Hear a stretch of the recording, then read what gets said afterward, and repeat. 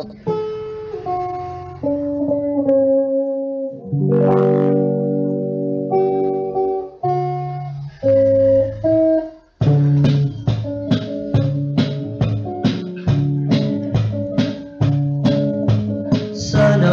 ang awiting to ay pakinggan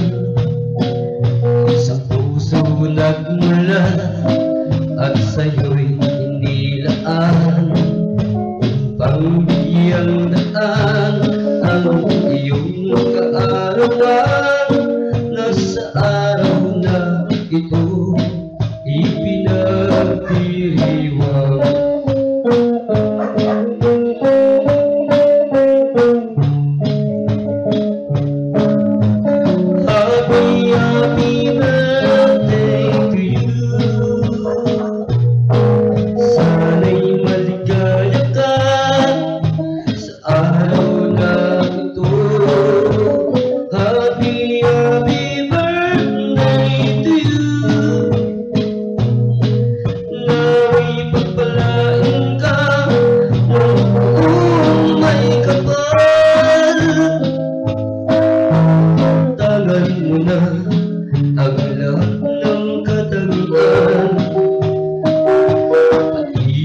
keindahan tak kebaikan.